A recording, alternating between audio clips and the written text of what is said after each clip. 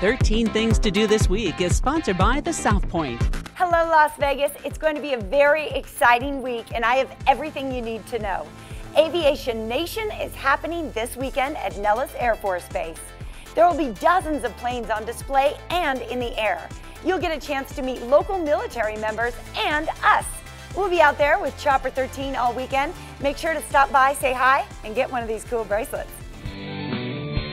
Frog is performing Saturday night at the Cannery. Peace Frog is one of the best Doors tribute bands in the world and will sing all of their big hits. This is a show you don't want to miss. And the world's largest collector car auction company is rolling into the Las Vegas Convention Center next week. The Mecum auction is open to both buyers and spectators.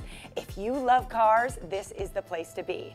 If you'd like to see the full list of 13 things to do this week, just head to our website, ktnv.com. I'm JJ Snyder. See you next week.